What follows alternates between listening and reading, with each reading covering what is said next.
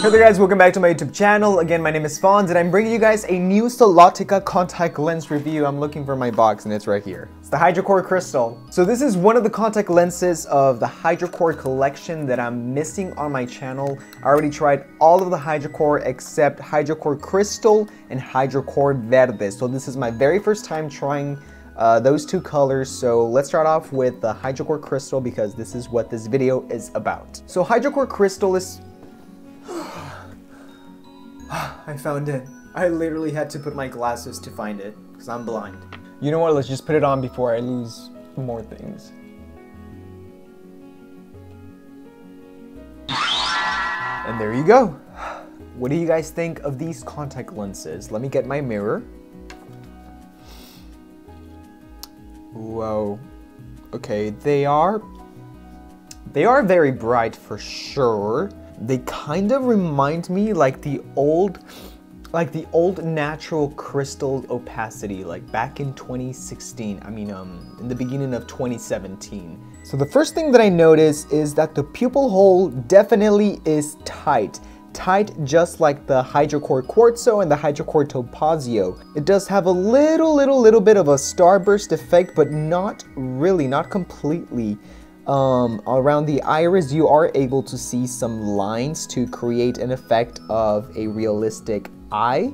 And it does not have a limbal ring as you guys can see, but it does have a little darker shade in the outer of the contact lens, which is beautiful in my opinion. They fit perfectly in my eye, and if I blink, I'm not able to see any of my um, regular eye color around the edges, so that's perfect, that's great.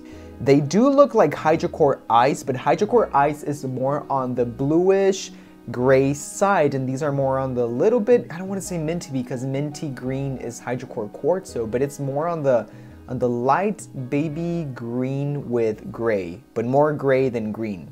I don't know if that makes sense. So these contact lenses are beautiful, but the same thing will apply to these as just like the Hidrocor Quartzo. If your skin is darker than mine, if you have a tan and uh, darker olive skin, these contact lenses may look too zombie-ish for you. So just beware of that before ordering these contact lenses because bright contact lenses, yes, they are beautiful, but it also depends on your hair color, your skin color, the clothing you're, that you're wearing. There are many factors on how the contact lens will look on you. So before you order, make sure that you won't mind the brightness, you won't mind um, of them being a little bit too dramatic. So if you have tried Hidrocor Quartzo, and if you thought that they were too, too bright, then I would not recommend these because they are also on the bright side, um, but not brighter than Hidrocor Quartzo. They're probably one level one level down in brightness. I think these contact lenses would look great for a daily use if you are indoors, but if you guys are planning to use these contact lenses outdoors for the most of the day, then definitely I would not recommend these. I would go with the natural colors crystals instead that have a dark limbal ring